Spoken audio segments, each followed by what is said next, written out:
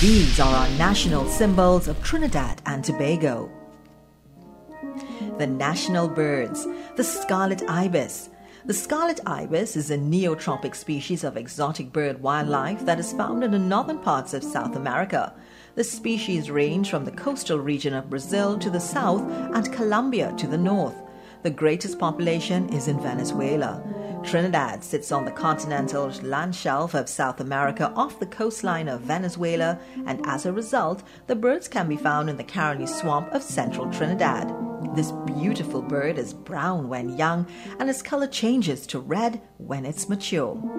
The cocrico. The cocrico is a native of Tobago and Venezuela, but is not found in Trinidad. It is the only game bird on the island and is referred to as the Tobago pheasant. It is about the size of a common fowl, brownish in color, with a long tail. They go about in flocks of about six, and their quaint calls can be heard especially on early mornings and late evenings. Both birds are protected by law.